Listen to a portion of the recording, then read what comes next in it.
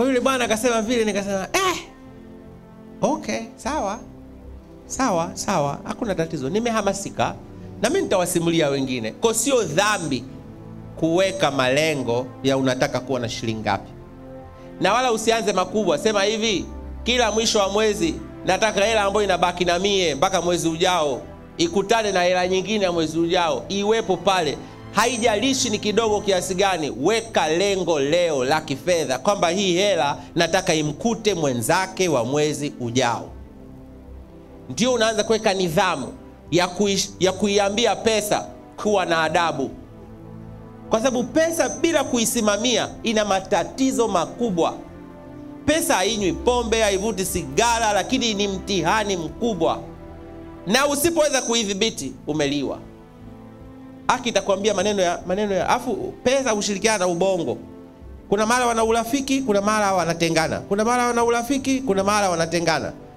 Mahali wenye urafiki pesa inamwambia ubongo. Mwambie mkuu tuondoke. Ah, ubongo na mkuu mefikiri tushaka muda mrefu. Hii semina hata last week ilikuwepo. Sisi tuende. alafu fikiria tu kwani umekula mkuu? Tuwai tukale unanielewa alafu leo ni weekend. Kwa nini tusipinde maeneo ya koko tukaangalie barabara ile mpya tupite kwenye daraja kule? Wewe mkaguzi wa barabara. Hapo akili inamshirikisha ubongo. Alafu ubongo na wenyewe bila kutafakari unakushirikisha wewe. Alafu na wewe unaanza kuinua miguu yako unafuata ulichoelezwa. Na ubongo na na pesa. Si ndivyo? Sasa pesa zikiisha hazitaki kukaa karibu na wewe. Na msiwe na uhusiano kabisa na nikwambie pesa ikiondoka hata ukisogea hatua moja inakwenda mbele tena. Haina maana. Sasa mtihani unakuja kwenye ubongo na wewe unaiuambia ubongo. Sasa unafahamu kama pesa hatuna una ushauri gani? Alafu ubongo unakaa kimya kama haujakusikia kwa muda kidogo ni kama unatafakari majibu alafu unauambia tena nimekuambia pesa hatuna una ushauri gani Hafu katika vitu ambavyo pia usipovidhibiti vina tabia ya hovyo kabisa ni ubongo wako. Utakupatia majibu mepesi, huwezi kuamini. Utakwambia kwani mkuu, hujacheki na kocha Basanga, hujacheki naye? Hatuwezi tukasababisha jambo kwa kocha. Yaani majibu mepesi mepesi hivi, alafu na wewe kwa simu, mkuu, nilikuwa jaribu kuwaza, sijui kama naweza nikapata kidogo ile ya dharura. Eh.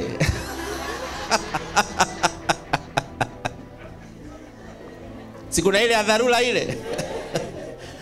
Kama naweza kupata ile ya dharura na jambo la dharura afu ubongo unakusaidia kuitengeneza dharura. Unanielewa?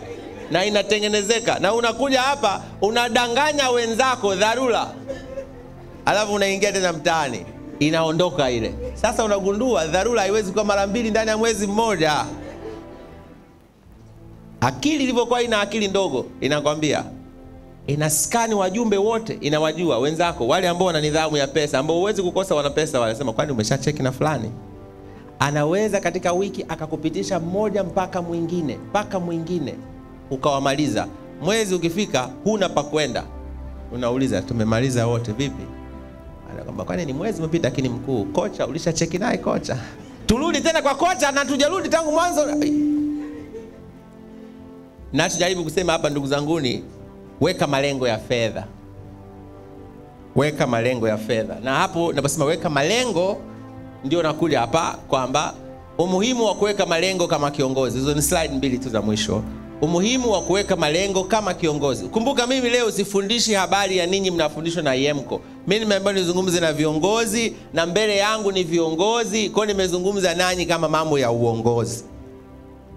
Malengo hukusaidia kuzingatia mahali unapotaka kuwa katika siku zijazo. Sasa lengo maana yake nini? Tafsiri yake. Lengo ni shabaha. Shabaha maana yake nini wale wameshiriki michezo ya kurusha tufe au ya kurusha mkuki au tuseme achana na yote unataka kurusha jiwe.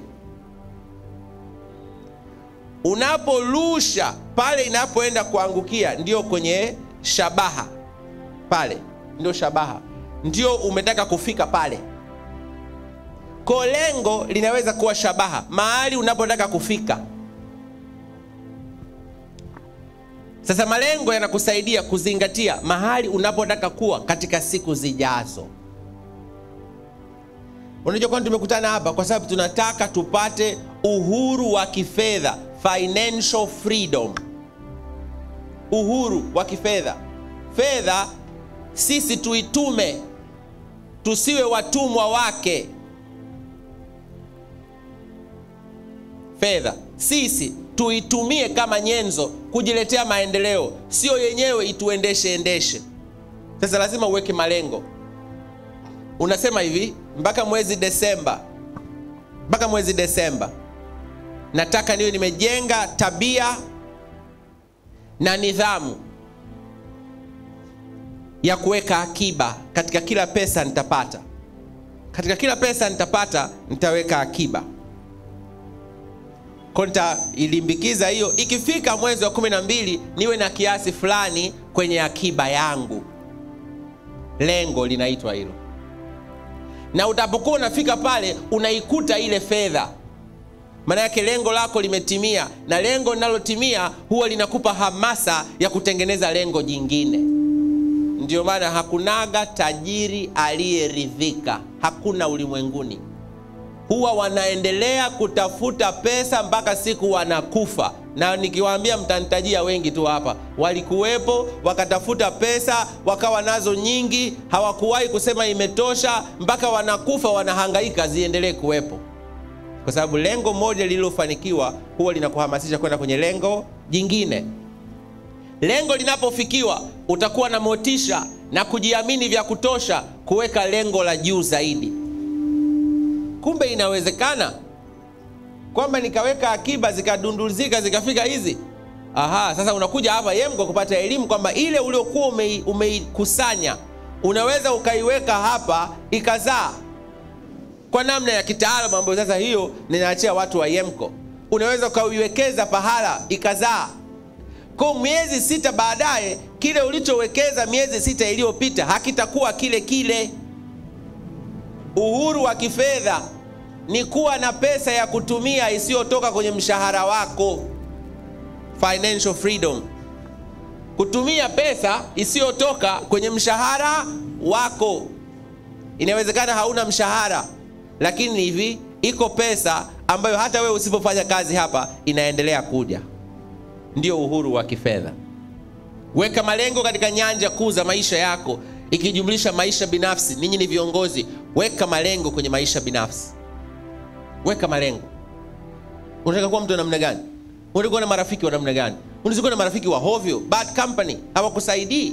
Walevi, una marafiki walevi, wewe unategemea nini? Muda wote utajikuta huko ba, si ndio? Wewe ni kiongozi, wewe lazima muda wako upange vizuri. Wakati mwingine unatakiwa uwe mahala ambapo panastahili kuwepo kama kiongozi. Kuna wakati mwingine hatukutegemei kiongozi kuwa unarandaranda bila utaratibu, lakini marafiki zako wanaweza kuwa, Kiingereza wanasema bad influence, wakakushawishi vibaya, ukala hela ya kikoba. Na kuna maisha fulani hivi ya hovyo hovyo, ukiwa na watu wa hovyo utavutika tu ukaishi kama wao. Kwa kwenye maisha binafsi, malengo wanawatania vijana wadogo, nawambia, unajua hata kutafuta mke na mume ni unatakiwa uweke lengo Usipoweka malengo utapata kitu cha ajabu. Mimi nilikuwa kule wilayani, tunafungisha ndoa zinaanguka kila siku. Kwa nini? Kwa sababu hukuweka lengo. Kwa nini unataka kuoa Hukuolewa. Ah, kwa sababu angalia, washikaji zangu wote wameshaolewa, washikaji zangu wote wameshaoa. Kwa nini nataka kuoa? Alikwambia nani kwamba mambo yao yanapaswa kuwa mambo yako? Kwa lazima uwe na malengo. Wanasema a leader does not compare his or her success by a leader does not measure his or her success by comparing with others. Kiongozi hapimi mafanikio yake kwa kujilinganisha na wengine. Hasa nawauliza vijana wangu, kwa hiyo na wewe unataka kuoa? Eh, mkuu, mimi nataka kuoa. Hmm. Una uhakika? Hmm na sasa huyu anataka kuoa yani haraka, ni kama vile ame ame ame ame ame ame ameimbiliziwa. Unajua kuimbiliziwa, yani kama anataka kuoa, yani ni mwezi ujao. huyo bibi umempata lini? Tumekutana hapa kama miezi miwili mitatu iliyopita. Na kweli mwezi wenyewe nataka kuoa. Kiongozi niko si ninampenda. Nini hebu nieleze vizuri. Ni nini hasa hoja? Basi kijana mmoja ananiambia bwana, bi mkubwa ameniambia nioe kwa sababu amejitazama hivi ameona hana mwendo mrefu ataondoka. Ah! Nikasema mama yako amekwambia hivi? Akasema eh, na unajua mama kusema hivyo ujue jambo zito hilo. Sasa unamzuiaje mtu kama huyo? mama Mamake kashamwambia anakufa hivi karibuni, oa nione au wajukuna mke huyo mkamwana. Basi tukafaulisha tuka ile shughuli na nini, ikafanikiwa. Ni miaka kumi sasa hivi, yule mama ajafa Unanielewa vizuri? Usifanye jambo kwa kushawishiwa. Tazama, ni lengo lako ni nini? Ni nini lengo lako?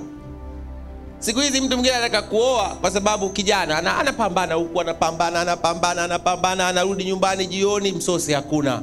Alafu anasikia kwa wenzake, ukioa ukirudi unakuta nini? Msosi. Basi naye anaanza kushawishika. Kwa hiyo nikiwa na mke, baada ya haso nikirudi nakuta msosi. Anaweka hoja ya kwanza hiyo, anasema na haso mpaka Jumamosi jioni halafu umevaa nguo hizo, unagundua una lundo la nguo chafu pale. Halafu kuna jamaa yake mmoja, mwakilishi wa Ibilisi, anamwambia mwenzako, huko nimeoa nguo mbona zinafuliwa tu, mimi najikuta tu navaa nguo ziko safi, zishapigwa pasi, zimepangwa na nini. Halafu mwingine anakaa anajihangaisha kidogo, anapika pika mwenyewe pale na nini nini, alafu hakuna kitu kirahisi kama kupika. Alafu baada hapo vyombo yale, fikiria ushapika wali na yale mavitu yote yameshakaa pale na mavyombo yote lundo kuyaosha ni kazi kubwa kuliko kupika. Kama wale wako wanajua mambo ya kifamilia wananikubaliana mimi. Lakini bana, wewe unaona tatizo lako dogo tu, weka jiko hapa, hivi vitu vinayeyuka tu, wa vimeshakuwa visafi. Basi anaungaunga na zingine na yale mambo mengine ya msingi ambayo nadhani kwamba ukioa yanakuwa muda wote, unanielewa? Hizo ndoa zinaharibika kupitiliza baadaye wanapata pesa, wananunua mashine ya kufua. Anagundua kumbe kazi ya kufua sio ya mkewe, ni ya mashine. Kwa hiyo ile unaanza kupunguza hoja za msingi za kwa nini ulioa, sasa inafua mashine. Kwa huyu sifa inashuka, sifa inashuka huko. Baadaye uligundua kwamba ah, unajua kwa sababu ya msosi, siku hizi watu wanakula kwenye migahawa na ndio ma outing na madina dates. Unagundua ya kwamba chakula ni kitamu zaidi mkienda kula Cape Town, Cape, Cape Town Fish Market. Unanielewa? Au sijui mgahawa gani na mgahawa gani, yaani unajihisi hata tumbo linasema alhamdulillah, leo tumekula kitu fulani amazing. Unanielewa vizuri? Sifa ya mkeo ingine tena fanya nini? Inashuka. Mwisho wa siku unamtazama imesema hivi hivi, alafu unashanga sema hivi, ni nini hasa kilifanya tukafika hapa? ye mkoye. Weka malengo kwenye taaluma. Watoto wenu waambie wajue wanataka kuwa nani kuanzia leo. Siku hizi watoto wanaenda mpaka chuo kikuu hawajui wanataka kuwa nani matokeo yake in, sasa hii hata nikisema wata, watakasirika kidogo matokeo yake wakimaliza shule wanafuata mzazi wake nimemaliza shule ah, Yaani mimi nimehangaika tangu wewe uweze kujisafisha kuji, kuji, kuji, kuji, mpaka umetoka chuo kikuu, umemaliza na chuo kikuu, nimelipa kila kitu, unanifuata tena unaniambia nimemaliza shule, naomba maelekezo mengine. Ha? Lengo langu mimi la kukupeleka shule ukajitegemee. Lakini unagundua siku hizi haiko hivyo. Ndio maana ukiwa serikalini unakuwa makini sana mambo haya. Kwa sababu unaweza kaongea kauli hivi watu wakakuwashia moto wa kupitiliza lakini kwa sababu ya tatizo kubwa ambalo tunalo, wewe unakwenda shule kufanya nini? Falsafa ya elimu, elimu ya kujitegemea. Sasa na elimu yenyewe imeshindwa kufanya watu wajitegemee. Angalau ndugu yangu, wewe ni mwalimu, ukamoja ufundishe watu kujitegemea jamani, makofi mengi sana bwana kwa uongozi hapa, wanatufundisha tujitegemee. Uhuru wa kifedha, hiyo nimeisema tena kisha weka muda wa mwisho wa kudaiwa. Jamani, muda wa mwisho wa kudaiwa, naomba tuiseme tena, muda wa mwisho wa kudaiwa ni jambo la msingi ulimwenguni. Ukitaka kufanikiwa, andika kuanzia siku hii sitaki katika jina langu kuandikwa deni. Hivi- Nipe tena hiyo.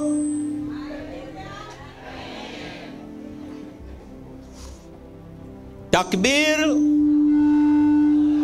Lazima useme tarehe fulani ya mwaka wangu huu ndiyo tarehe ya mwisho jina langu kuandikwa deni.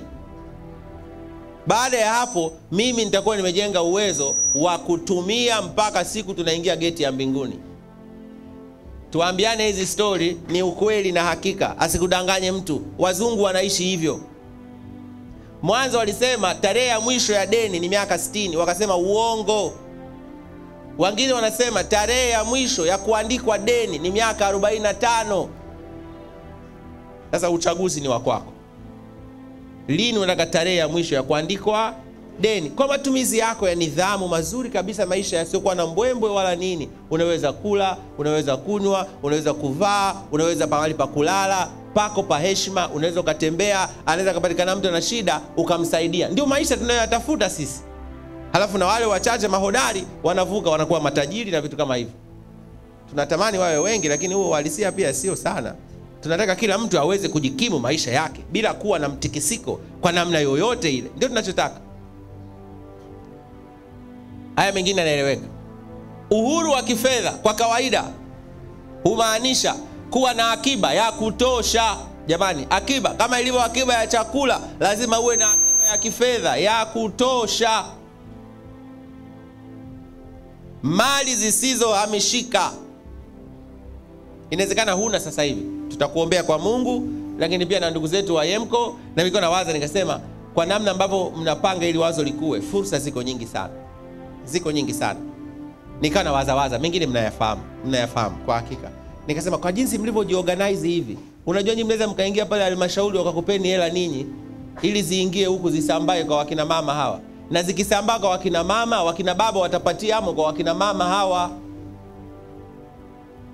Inawezekana kwa jinsi ambavyo mnakuwa baadaye. Nchi hii tunapima, tunaipima nchi yote. Kuna mikopo ya wizarani, kule wizara ya fedha. Mimi si mbunge, najua maana yake. Ninyi mnaweza mkatengeneza ofisi imejitosheleza hapa, pata wapima.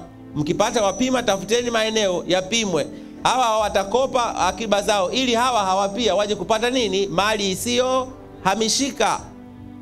Kwa ninyi mna mfumo wa kuwawezesha hawa kuweza kukopa kwa sababu ninyi mmeshajenga mfumo wa kuweza kupata pesa kutoka sehemu nyingine ikiwemo serikalini.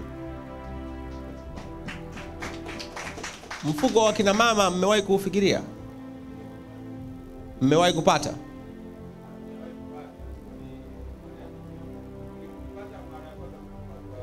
Okay.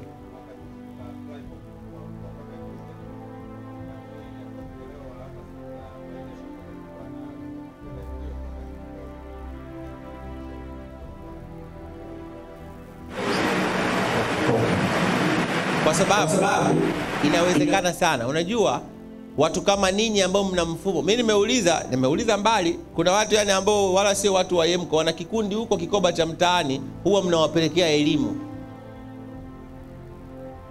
Nimetafutiza nime- Nimetafutiza maarifa kabla ya kuja hapa. Ah, nime nisingekuja, lakini nikasema hawa jamaa wa maana, serikali inatakiwa iwakimbilie ninyi kwa sababu ninyi mna mfumo tayari wa kusaidia watu.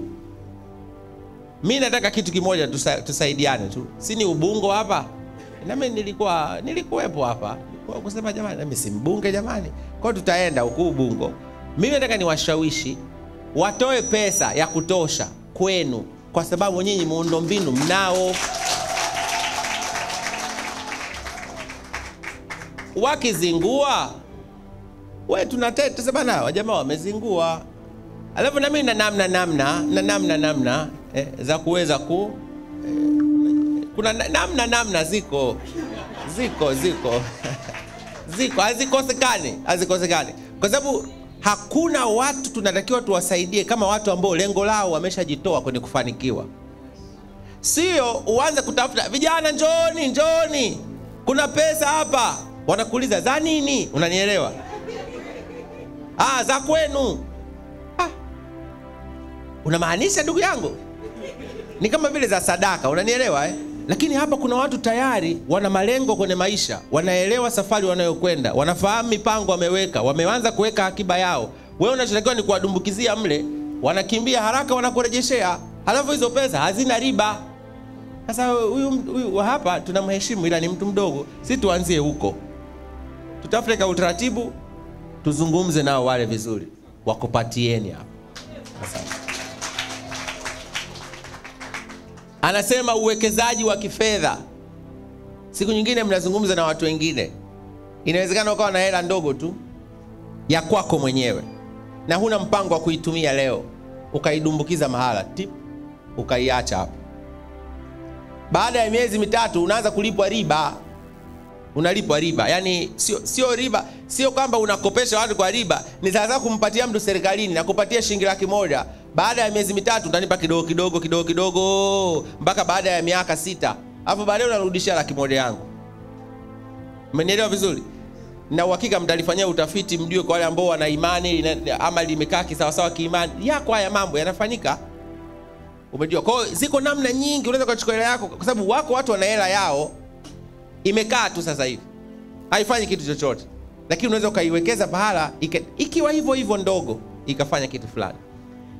Kipato huru, financial freedom, muhimu kabisa eh? Kipato chako independent income, kipato chako mwenyewe independent income chako hakina mazonge mazonge, na ni nje ya mshahara wako, ni nje ya mapato yako yale ya kidesturi ya siku hadi siku. Na pesa taslimu, una shilingi ngapi? Inawezekana sio nyingi, lakini zipo ili kumudu aina ya maisha tunayotamani sisi wenyewe na familia zetu. Unajua, ukizingatia hii, hata ukiwa unamwomba Mungu, yani unakuwa uko vizuri sana, unanielewa? Na umshirikishe Mungu pia akusaidie kwenye mambo haya, kwa sababu imeandikwa pia sisi tutafanikiwa, kwa sababu si tuko na Mungu Bwana. Na mimi najua watu wa Yemko wote mna hofu ya Mungu. Uongo kweli? Yes. Kwa hata unapokuwa unamwomba Mungu mambo haya mengine anajiteremshia tu kuna, kuna msemo mmoja anasema, we mpende Mungu tu, mengine haya unapewa. Yaani we mpende tu Mungu. Mungu anataka vitu virahisi sana, we mpende. Hayo mengine hayo yote atafanya nini? Utazidishiwa. ko inawezekana. Namna ya kuweka malengo ya muda mrefu. Malengo ya muda mrefu yamefikiwa ndani ya muda wa miaka mitano hadi kumi. Anza kuwaza namna hiyo, usijitazame leo tu. Fumba macho yako, jiambie, miaka mitano unajiona wapi? Fumba macho yako, miaka kumi unajiona wapi? Ukiweza fumba macho yako, jitazame, miaka kumi na tano kutoka leo unajiona wapi? Utakuwa unakaa wapi? Utakuwa unakaa mtaa ule ule? Hapana. Nyumba ile ile ya kupanga? Hapana.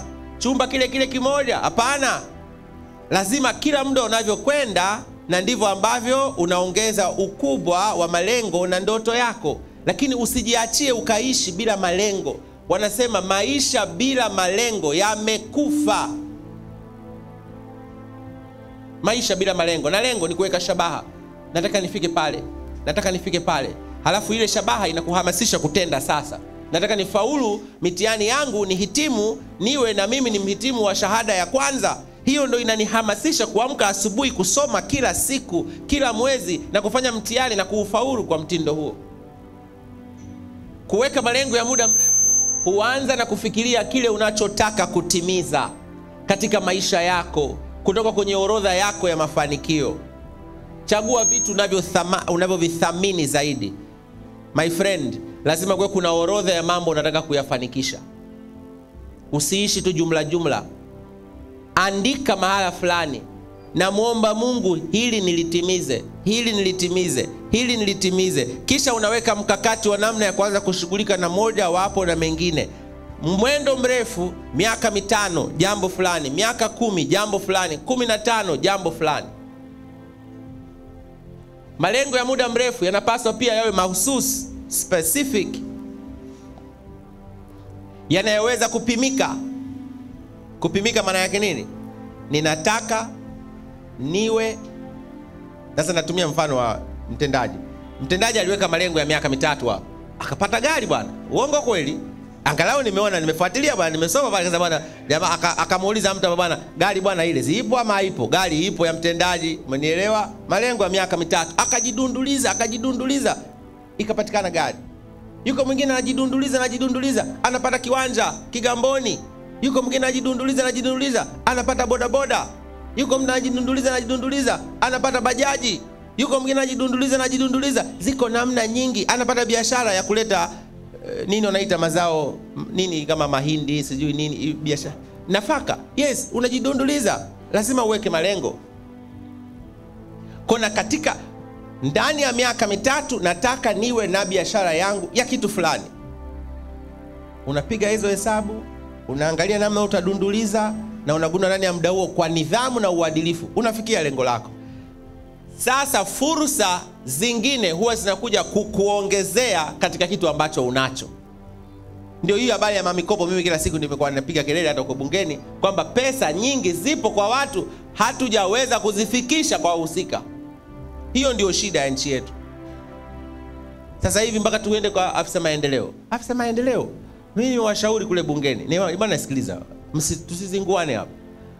Zama za kupita kwa afisa maendeleo naye mungu mtu. Upite afisa maendeleo kata afisa maendeleo halmashauri mungu mtu. Afisa maendeleo wilaya naye unaenda mkurugenzi mungu mtu. Ushamwekea mtu mavikwazo mbona voda wana nanilii tu hapa? Iko ile nini? Hapa hapa tutatata amjuani sikujui nijui mimi si mjomba wako dididi mpunga umeingia huu hapa. Kwa nini serikali isifanye hivyo? Ah, kwa nini serikali isifanye hivyo? Na yenyewe kwa ninyi hapa mungeingia kwenye mkopo wa kitaasisi. Unaingia tu ti kwenye application moja pale. Taasisi usajili huo hapo. Ehe akaunti mwisho wa mwezi ilikuwa shilingi ngapi? Hiyo hapo taarifa ukiziingiza zile kile kimfumo kinasema huyu anaweza akakopa milioni 30 piga makofi kwa watu wanaojitambua kama ninyi. Ndio maana tukaambiwa tupate vitambulisho vya nida. Unaingiza nida yako pale tap. Tunakujua taarifa zako zote pale na hichi kimfumo kinaweza kuwa kinafahamu taarifa zingine mbalimbali mbali kwenye benki kwenye sijui nini kwenye leseni na ndivyo ilivyo. Mifumo yetu sasa hivi inasomana kila pahala. Ndio maana mi nahitaji kusema tu namba yangu ya nida. Watu wa voda wananijua na taarifa zangu zote.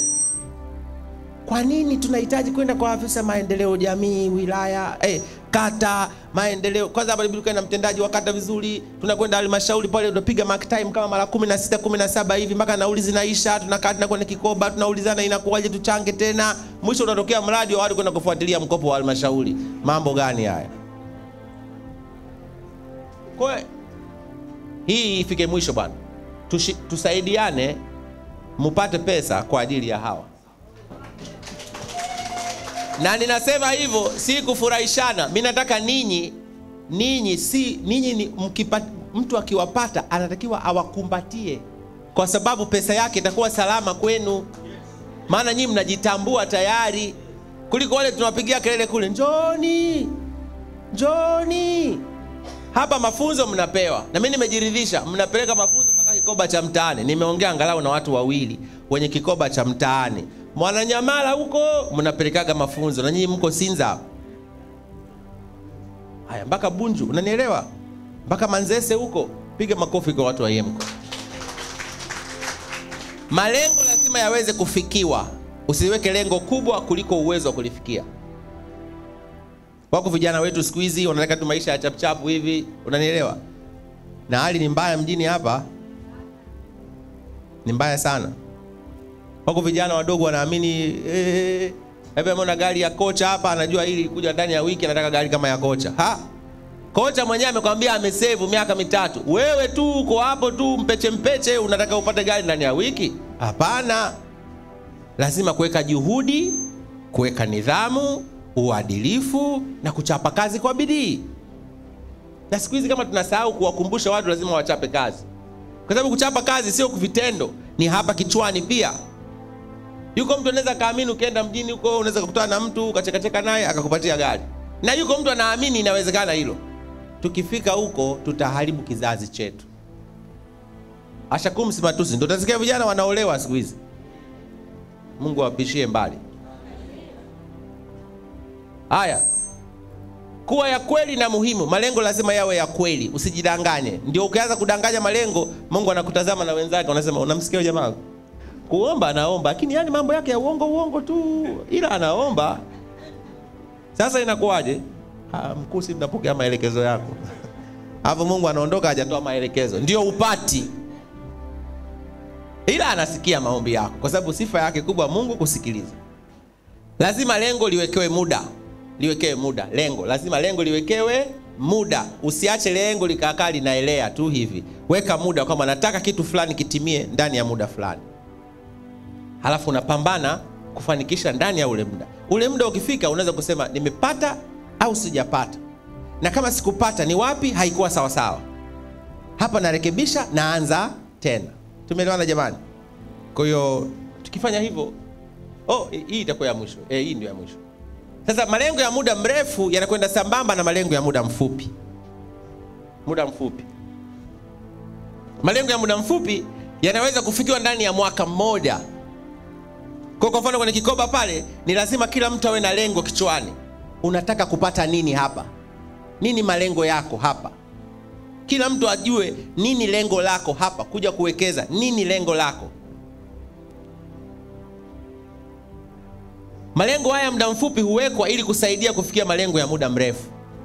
Kwa ili uweze kufikia malengo ya muda mrefu, lazima uweke malengo ya muda mfupi. Malengo ya muda mfupi kadhaa yanakufikisha kwenye malengo ya muda mrefu. Malengo ya muda mfupi yanapaswa pia yawe mahususi, yanayoweza kupimika, yanaweza kufikiwa, kuwa ya kweli na muhimu, na lazima kuwa kuna sababu ya kuweka lengo hilo. Najaribu, najaribu kuwaza mimi lengo gani nimewahi kuweka. hmm. Hmm. Na lazima lengo liwekewe muda, inaisha lengo la muda mfupi, lengo la muda mfupi, kipindi fulani. Sasa nitawaambia ile malengo makubwa makubwa hivi. Nimefanya kazi huko Musoma, nimeteuliwa, nimefika pale sasa mimi nikasema nimekaa hapa sijawahi kufika Msoma, na Msoma ni wilaya ya muda mrefu kwa kongwe, kama vile haiendi hivi. Nikasema nataka nichague mambo ma